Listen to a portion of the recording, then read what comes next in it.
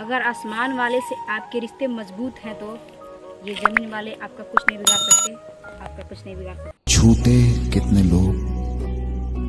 कितनों को लेके डूबा ये इश्क वाला रोग? रांझों से उनकी हीरे बिछड़ेंगी कितनी बार?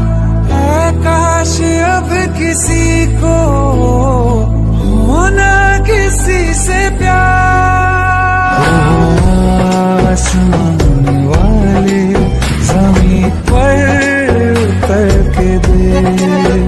को आसमान वाले जमी पर उतर के दे।